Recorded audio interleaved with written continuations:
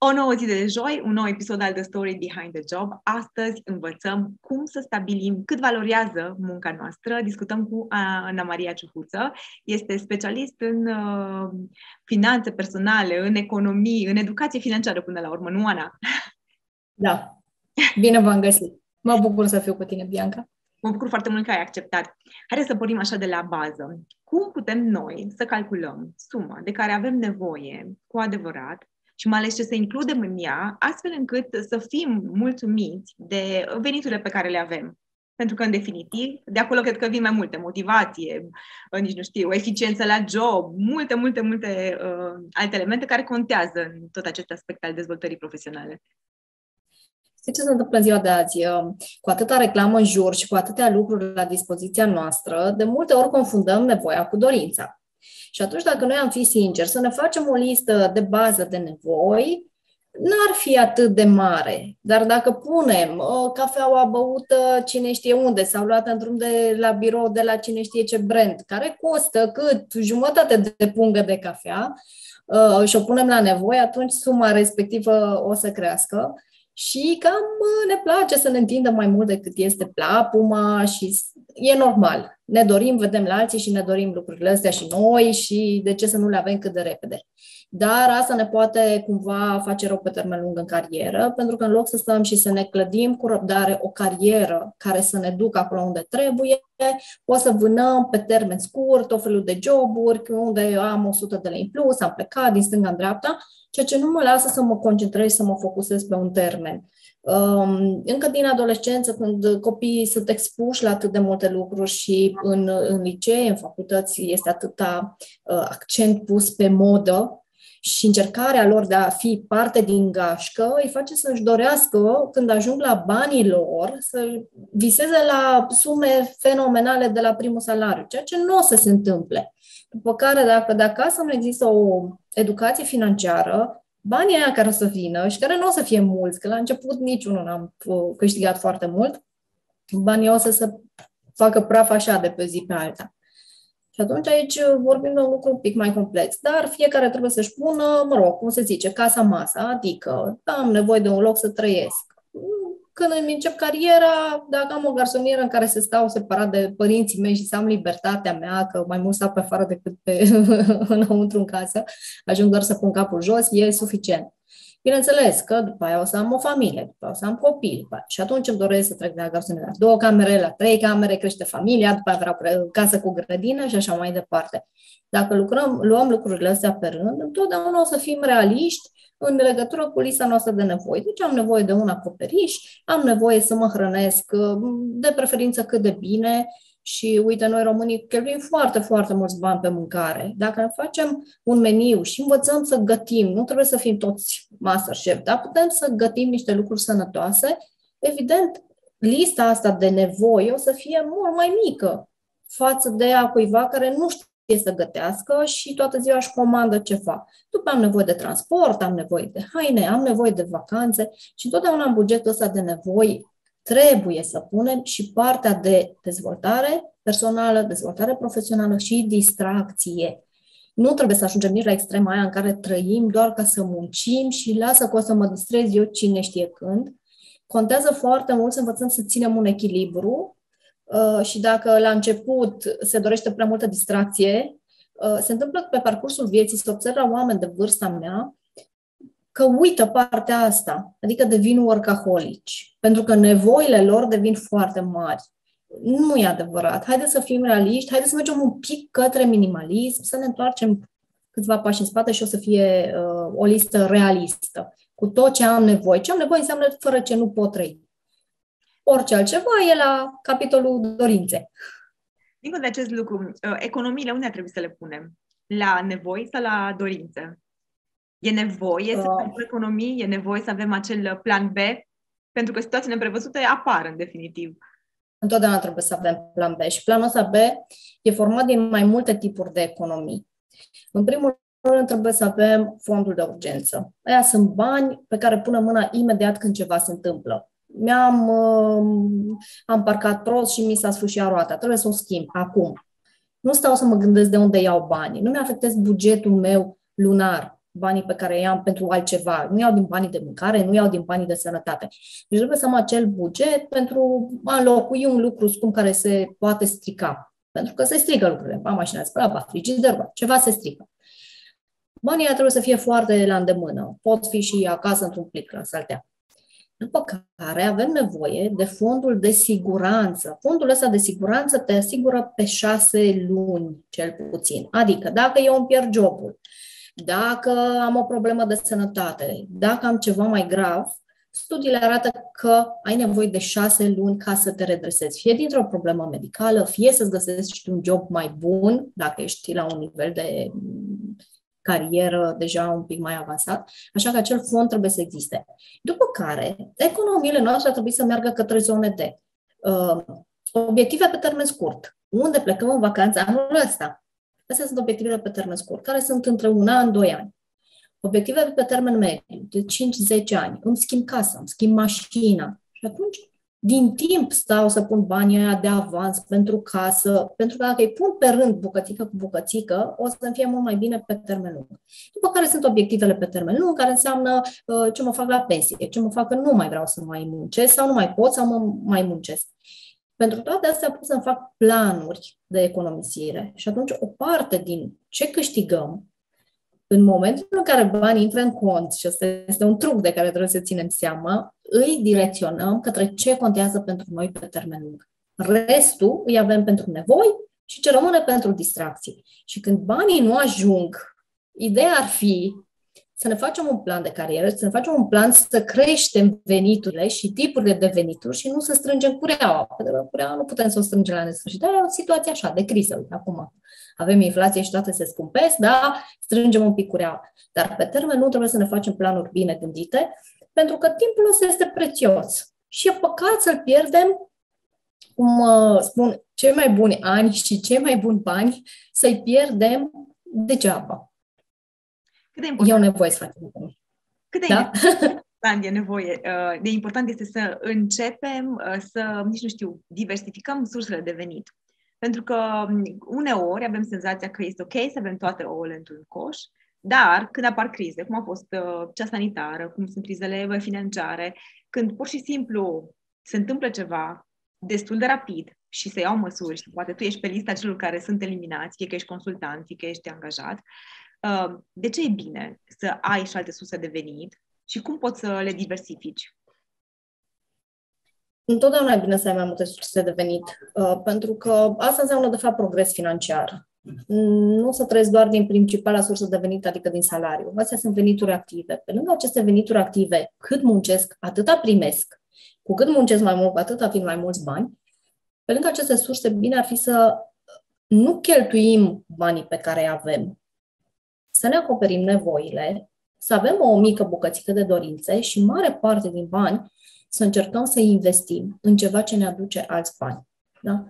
Deci, din momentul acela în care eu am alte surse de venit care să mă susțină în cazul în care sursa mea principală de venit cade, înseamnă că am uh, o situație financiară stabilă, am un echilibru financiar și mi-e bine. Um, studiile arată că oamenii încep să econ- cei care economisesc um, au văzut asta în familie și pentru mulți este un exercițiu greu de economisire. Dar uh, se poate cu trucul pe care uh, ți l-am spus înainte. Mai, care era a doua întrebare? La diversificarea veniturilor. Cum să... Diversificăm în funcție de lucrurile pe care știm putem să le facem sau zona în care ne educăm. Sunt persoane care um, vor să investească la bursă. La bursă nu jucăm, la bursă investim.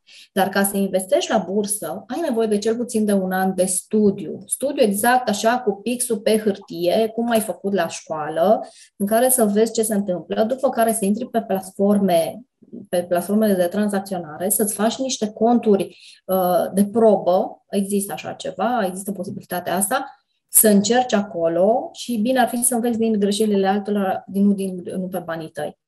Uh, cu cât e mai mare riscul, cu atât este și mai mare uh, uh profitabilitatea, mă rog, șansa de câștig. Ideea este să nu fim orbiți de treaba aia, pentru că ne putem arunca în niște lucruri pe care nu le cunoaștem și să pierdem toți banii. Dar asta este o sursă de uh, investiții și o sursă de bani care poate fi construită foarte frumos în timp, cu randamente foarte bune.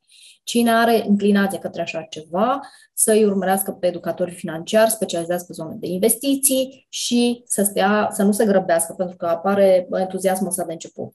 Sunt oameni care încep un, um, o altă activitate pe lângă activitatea lor de bază un alt job, un side job sau o colaborare. Mulți ajung să-și facă din hobby-uri uh, o afacere și le monetizează. La ce sunt eu bun, ce pot să fac în plus pentru mine și pentru banii mei? Uh, soluții ar fi destul de multe și dacă vrei, îți recomand o carte. Poți să fac o recomandare de carte? Sigur. Startup de 100 de dolari. Îmi place foarte mult cartea asta. Uh, mai are și a doua carte, um, Bani Extra Job, Asta îmi place mai mult, începeți cu asta pentru că este plină de idei. Adică ideea ar fi de ce ar trebui să facem cu banii. Important este să ajung așa la o... să pun împreună ce știu, ce pot, ce vreau. Pentru că dacă știu, o să, uh, nu o să vorbesc degeaba. Dacă pot, la fel, o să dedic time, timp. Uh, dacă și vreau, o să-mi țin motivația acolo zona, dacă mă apuc să copiez pe cineva, uite, Ana Maria face educație financiară, mamă, ce de bani face cu chestia asta, nu o să ai drive-ul ăla pe care eu îl am, motivația pe care eu o am ca tot timpul să citesc cărți. Pe lângă cărțile pe care eu le citesc în mod normal, întotdeauna pe noptier o să găsești una, două de educație financiară. Pentru că am pasiunea asta. Deci dacă mă duc într-o zonă de pasiune, pot să ajung să o cresc astfel încât să-mi aducă bani buni. Dar nu trebuie să copiez pe cineva. Trebuie să-mi fac eu analiza mea personală, să-mi dau seama cam ce vreau să fac, cât timp vreau să investesc în treaba aia. Um, dar să nu ajungem în partea de hobby scump.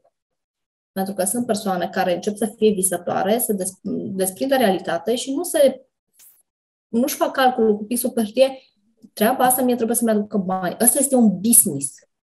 Dacă e business, trebuie să-mi aducă bani. Um, pot să facă conținut blogging, vlogging, toate astea pot fi surse de bani, dar uh, nu de pe zi pe alta. Ideea este să stea, să-și facă o, un plan astfel încât să crească acea sursă de venit cu răbdare și cu timp. Bani peste noapte nu există, alea sunt tunuri și nu ține treaba. Vreau să revenim puțin la a învăța să înțelegem cât valorează munca noastră. Și, de exemplu, și aici îmi place în general să dau o exemplu, pentru că până la urmă cred că se regăsesc și alte persoane, când am hotărât să fac trecerea, să spun așa, de la angajat clasic, da, cu CIM, știi, mult doritul CIM de generațiile părinților noștri și așa mai departe, continuitatea aceea uh, uh, contractului de muncă și așa mai departe, am hotărât să fac switch spre un freelancing, da, spre consultanță. Atunci, în cazul meu, a fost un fel de blocaj, pentru că nu știam cât valorează munca mea. Cât să cer ceea ce să cer pe oră, să cer pe lună, să, uh, să cum te, uh, nici nu știu, te mulezi pe tipul de client, pentru că poți să cer o anumită sumă lunară, după care să dai seama că acel client este foarte solicitant, cum renegociezi din moment ce, în momentul în care tu îți dai seama că acest client îți mănâncă mai mult timp și energie decât uh, ai, ai crezut tu, ai estimat tu la început. Cum facem această uh, valorizare, stabilirea unui preț al muncii noastre? Cred că cu toții trecem prin, uh, prin genul ăsta de clienți care ne dau lecții și ei ne ajută să creștem noi ca oameni. Um, relația cu banii este specială, unică la fiecare dintre noi. Sunt persoane care au o rușine față de, legată de bani, venită din, uh, din copilărie, rușine, um, frică, sunt blocaje pe care noi le-am moștenit din ce am trăit în copilărie.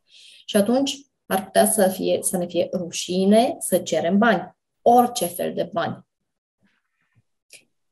Dacă asta se întâmplă, este un proces prin care eu trebuie să ajung la partea în care să cer bani. Când cineva spune, ă, vreau doar să-ți cer o părere, părerea aia înseamnă timpul meu, timp de la familia mea, timp ca să mă pregătesc ca să dau un răspuns, o anumită responsabilitate în ceea ce fac, deci este normal să primesc banii înapoi. Um, pot să pornesc, când vorbesc de valoarea mea personală, trebuie să mă gândesc la hai să spun așa, hai să pornim de la cei care pleacă de la o companie, nu? Pentru că acolo avea un salariu. și pleacă în zona de antreprenoriat. Ei bine, salariul ăsta depinde de funcția pe care au avut-o, responsabilitatea pe care au avut-o, anii de experiență, uh, competența, inclusiv uh, locul în care sunt. Pentru că, într-un fel, ai salariu într-un oraș mare și altfel într-un oraș mic sau într-o țară față de altă țară. Um, și atunci trebuie să fie realist că de la ce pleci, dacă rămâi în aceeași zonă, valoarea ta trebuie să fie aceeași. Diferența este că tu nu mai ai un brand în spate care să vină și să te valideze pe tine ca persoană. Și atunci tu trebuie să-ți construiești un brand personal. Pentru că una este să sun și să fiu Ana Maria de la firma X, care este bine cunoscută sau poate este o bine cunoscută nu doar la nivel de țară, la nivel de global. A, ok. Și alta este să fiu eu Ana Maria care vin de la SC, nu știu, CSRL. Nu e același lucru. Și atunci trebuie să am răbdare să-mi cresc acel brand personal și da, s-ar putea pentru o perioadă să mă duc la un preț mai mic față de ce aveam. Dacă, am, uh, dacă businessul meu se referă la produse, sau la uh, produse pe care le manufacturez sau doar le vânză, vând, acolo treaba e foarte clară pentru că trebuie să-mi fac, uh, să-mi țin contabilitatea, să-mi fac cash flow să-mi dau seama care sunt cheltuielile pe care le am cu spațiu, cu um, orice altceva, cu transportul, cu sistemul informatic, cu salariații, salariile și tot ce ar fi, uh, plus marja mea de profit. Și o să ies la un, la un mic preț. Sub ăla, e, adică ajung la break-even și știu ce înseamnă profit. Sub ăla n-are sens să deschid business-ul. Trebuie să stau să gândesc înainte. Ei, pe zona de servicii, povestea este mai altfel, pentru că mulți încep cu salarii cu, cu prețuri mai mici ca să-și construiască un portofoliu. Și atunci trebuie să mă gândesc la următorul lucru. Um, trebuie să-mi construiesc acel brand personal rapid, și trebuie să-mi fac o rețea de networking, să mă duc la întâlniri de networking, ca lumea să mă cunoască. Altfel, o să fiu nevoită să mă duc pe prețuri mici pentru o perioadă mai lungă ca să-mi construiesc un portofoliu care probabil nici n-ar fi vizibil. Dacă totuși eu vin dintr-o zonă corporate în care mi-am construit un CV, eu nu m-aș duce la un preț mai mic, ci m-aș duce către clienți mai buni. Și aici contează mult targetul de client. Pentru că eu pot la același client, nu la același client, la un client, pentru un serviciu, să-i cer 200 de euro, pentru că atât poate el să-mi dea, sau pot să mă duc la altul și să-i cer 2000 de euro să-mi dea fără să clipească, pentru că poate. Și munca mea ar fi aceeași. Eu sunt același specialist care fac aceeași muncă bună.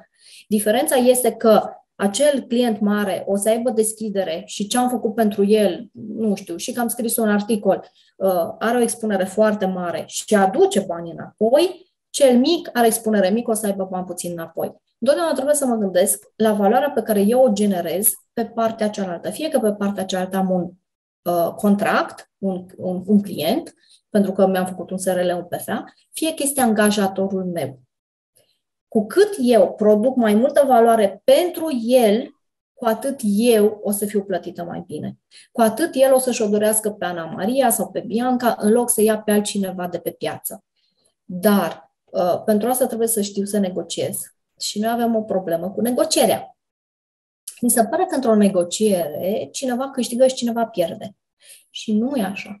Într-o negociere bună, ambele părți câștigă nu suntem într-o negociere să ne războim, ci suntem într-o negociere să găsim cea mai bună metodă prin care eu cu tine putem să facem o treabă bună și să fim amândouă, amândoi în câștig. Ce le recomand eu uh, celor cu care lucrez este să își facă o analiză, să vadă care sunt punctele lor forte, care sunt plusurile și care sunt minusurile, ca să nu se hame în proiecte, fie că la, sunt la job, fie că sunt uh, în businessul personal, pe zona lor de minus, pentru că acolo nu o să iasă bani. Acolo este efort mult cu rezultat foarte slab. Dacă mă duc pe zona mea de competență maximă, o să am acel 20-80, o să am acea 20% de activitate care mi-ar duce 80% de, de, din uh, profit. S-ar putea ca cei 80% să-mi ajungă și să mă opresc. Ăștia sunt oamenii care uh, nu muncesc zi și noapte, ci sunt foarte, foarte eficienți. Dacă eu stau să-mi fac acea analiză foarte corect și dacă nu pot, mă duc la un coach, un coach de carieră, de exemplu, sau mă folosesc de cei din jurul meu, voi pentru ce apelați la mine? Unde mă vedeți că sunt foarte bun? S-ar putea aprecierea mea față de mine să fie un pic deformată. Și cu ajutorul celor din jur pot să-mi fac o imagine a cine sunt eu și ce pot eu. Ei, de acolo încolo nu mai las în jos. Trebuie să mă duc în sus.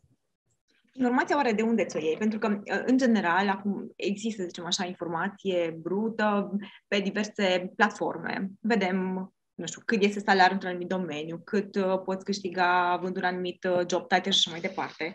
Însă cumva când mergi în zona de freelancing, cum poți să calculezi? Pentru că aici a fost blocajul meu, sincer să fiu. Cum calculezi cât costă o oră de energie, de o oră din timpul meu? Și atunci poți, nu știu, să faci un calcul și să vezi exact cum a estimat o companie cu care ai colaborat, uh, cât valorai tu pentru ea și acolo să iei brutul și să te gândești, ok, ce ar însemna asta pe o oră?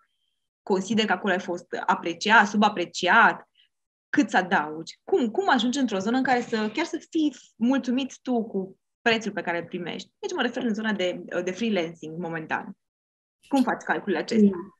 Uite, tu ești care e prețul pe piață și îți dai seama dacă tu ești mai bun sau mai slab decât piața. În acest moment, eu sunt la nivelul pieței și nu sunt cunoscut, vreau să mă duc un preț mai mic ca să fac un portofoliu, atunci trag cu dinții să-mi găsesc niște clienți buni la care le ofer un contract uh, pe termen limită sau le, le propun o perioadă de probă, în sensul că hai să facem contractul, pentru primele trei luni ai acest preț, după care va urca la atât. Dacă clientul nu e mulțumit, asta este.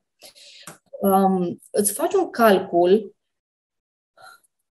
câți bani, câți bani te aștepți tu să câștigi pe lună. Și să nu uităm că în zona asta de freelancing unde muncești, nu-i dă sky de limit dacă tu nu știi să te multiplici. Pentru că dacă eu pot să iau un anumit preț pe oră, nu știu, 20 de euro, 60 de euro pe oră, mă gândesc câte ore pot munci ca să fiu și productiv, să nu fac munca de mântuială și ce înseamnă asta într-o lună. Ăla este topul meu, zăto. Aia sunt eu astăzi pe piață, da? Ce greșeală facem noi este următoarea. De multe ori în orice proiect, partea pe care o ai de livrat cu, către client, o subapreciez ca timp. Și atunci eu îmi stabilesc un fi, da? din salariul meu pe care îl aștept, să zicem un 2500 de euro pe lună. La ăla trebuie să calculez ce am eu de plătit. Pentru că dacă eu sunt angajat în firma mea, am de plătit 45% impozite către către stat. Mai am uh, ca salariat. Uh, mai am un 5%, uh, cred că e din partea angajatorului. Mai am 1% impozitul pe venit. Astea sunt niște sume de care eu nu trebuie să uit. Eu am de plătit o firmă de contabilitate. După ce îmi fac toate aceste cheltuieli, îmi dau seama cât ar trebui să fie venitul meu care să-mi intre în buzunar. Deci eu îmi doresc ca cei 2500, să zicem, să intre în buzunarul meu. Deci asta înseamnă că eu trebuie să generez cât? 4.000-5.000 de euro pe lună. Cum generez eu acei 5.000 de euro pe lună?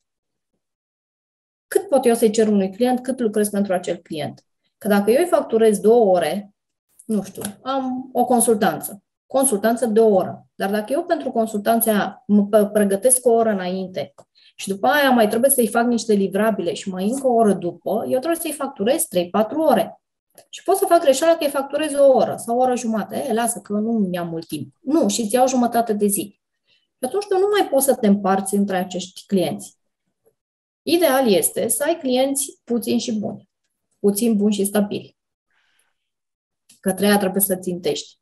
Dacă am așa să faci calculul, pornești de la ce trebuie să fie. După care ai ajuns, cumva să-ți faci o bază de clienți, treci la zona aia. Îți dorești să crești și zici, bun, și acum ce pot să fac? Am un portofoliu suficient de mare cât eu să-mi cresc prețul de la 60 de euro pe oră la 80 de euro pe oră? Sau ce ar trebui eu să fac ca să cresc acel fi de aici, aici? Ce altceva trebuie să învăț? Pentru că fiecare pe zona lui știe ce poate să aducă în plus. Și aici intervine uh, investiția în dezvoltarea ta personală și profesională. Zic și personală, pentru că Degeaba ești foarte bun în ceva ce faci. Dacă tu n-ai învățat să comunici, n-ai învățat să vinzi, tu trebuie să te vinzi. În momentul în care ești freelancer, tu îți vinzi produsele, dar de fapt te vinzi pe tine. Oamenii vin să lucreze cu tine pentru că le place de tine, pentru că au încredere în tine dincolo de portofoliul tău. Și atunci tu trebuie să consideri și aceste investiții ca fiind ceva ce trebuie să intre în contul tău și în buzunarul tău. Dar, la fel, pe piață există bucătar și există șefi. Pe același lucru, da? amândoi fac de mâncare. Dar unul să primească un salariu, unii chiar poate un pic peste salariul minim pe economie, în timp ce alții câștigă mii de euro într-o seară. Care e diferența? Educația pe, și investiția pe care eu o fac în ei și în, în timp. Deci asta e, pornește de la cel minim, care n-ar trebui să fie mai puțin decât ai câștigat, uh, îți faci toate cele calcule cu ajutorul contabilului care îți spune, ăstea o să trebuiască să le plătești. La asta să te aștepți, le pui pe toate, asta este suma pe care eu trebuie să o generez lunar în contul meu de firmă pentru ca eu să rămân cu această sumă. Dacă nu doresc să fiu salariat și am bani deoparte, să zicem că pot să trăiesc până când îmi scot primul profit. Da? Ok. Asta înseamnă, ce înseamnă asta? Că nu mai plătesc taxe la stat, dar o să vreau sau să am nevoie de o asigurare de sănătate privată, că nu mă las chiar în vânt. Poate îmi doresc o pensie privată. Trebuie să gândesc tot contextul ăsta și atunci reduc acea cheltuială de 45%, probabil la un 20-25% și cu așteptarea asta fac mai mulți bani în buzunar. Dar aia nu înseamnă să, să mă duc la prețuri mai mici. Deci valoarea mea cu nevoia mea nu trebuie să fie aceeași. S-ar putea ca nevoia mea la nivel lunar să fie la un 2500, cum am zis. Dar eu să fiu un profesionist atât de bun și să-mi fac o, o imagine de de specialist pe piață, încât să ajung să câștig 5.000, 6.000, 7.000. Nu înseamnă să mă duc la prețuri mici doar pentru că acolo e piața. Deci da, este o, o referință, dar ce-ar fi să mă uit referința aia să-mi iau de la cei mai buni? Băi, cât câștigă cel mai bun din chestia asta? Cât câștigă? Cât îmi am mie să ajung acolo? Că vreau să fie oamenii ambițioși și să-și facă un plan din asta de...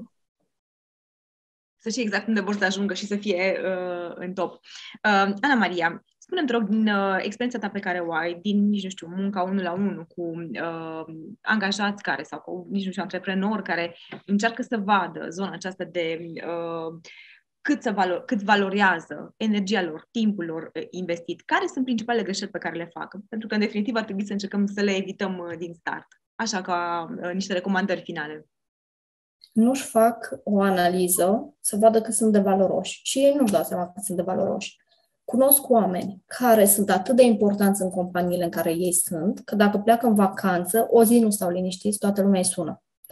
Și nu pentru că ei nu știu să delege și că nu sunt manageri buni, pur și simplu pentru că sunt la un nivel și la o capacitate la, la acel nivel, da? Nu se duc să-și ceară salarii mai mari. Nu se duc să să-și pună de misaj, să zică, știi ce, eu pot să fac munca asta pentru mine și să câștig de 10 ori mai mult. De ce să aduc atâta valoare aici când voi nu mă plătiți? Pur și simplu, partea asta de muncă cu partea de cât merit eu este despărțită. Sunt două lucruri diferite. Și e trist și e păcat. Pentru că oamenii ăștia merită mult mai mult și nu-și fac acea listă. Când te duci la negociere, să zicem, ești într-un job și te duci să-ți negociezi um, salariul. Pui pe listă lucruri concrete cifre. Uite ce am făcut, uite ce am adus eu în compania asta. Dacă, să spunem că îți faci această analiză și îți dai seama că ai cam tras chiulul și n-ai adus mare lucru și rezultatele nu, nu sunt așa cum ar trebui să fie, cum este, nu știu, obiectivele din evaluarea pe care tu ai anuală. Trage tare, tot la managerul tău, întreabă ce ai putea să faci, cum poți să crești și ca venit și ca eficiență și în tot ceea ce faci. După care te duci cu aceste cifre în brațe la o negociere s-ar putea în negocierea aia să câștigi bani, pentru că, da, îți arăți valoarea. Nu aștepta să vină cineva să-ți vadă valoarea. Noi, femeile, facem asta foarte mult, bărbații o fac mai puțin. Nu aștepta. Du-te tu să-ți ceri drepturile.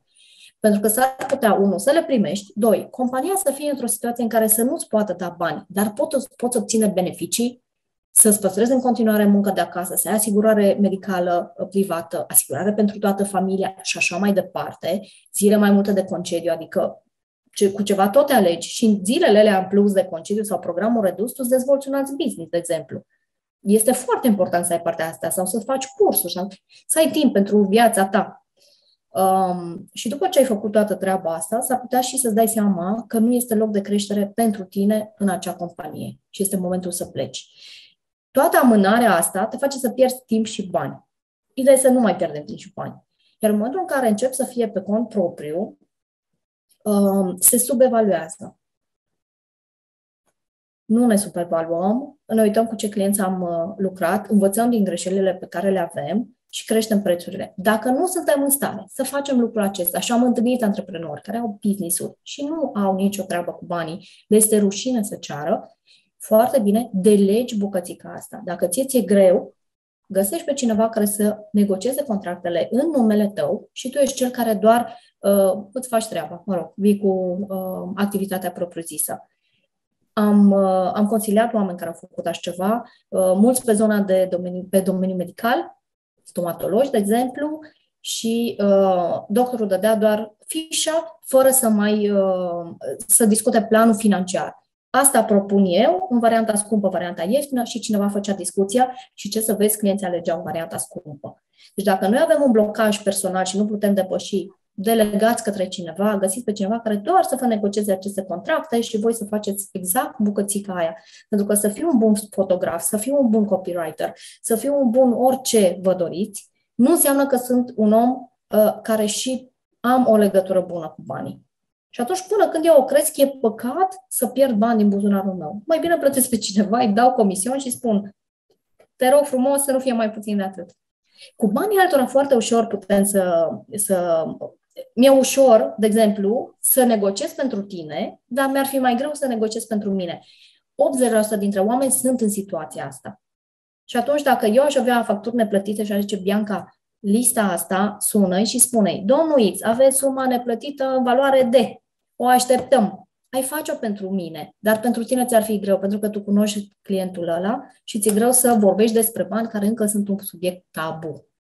Cum să trecem de această etapă în care banii sunt un subiect tabu? Pentru că este foarte clar că venim, cel puțin generația noastră, cu un handicap de genul acesta. Nu știu, venim, venim. punem problema recomandare cărți, poate cursuri, poate nu știu, poate sunt ceva influencers în zona aceasta pe care să-i urmărim, astfel încât, ușor, ușor, să ne educăm și partea aceasta de negociere. Voi vă aștept și pe pagina mea, pentru că mulți scriu despre partea asta, despre psihologia relației cu banii și vreau să mai, vă mai recomand cărți.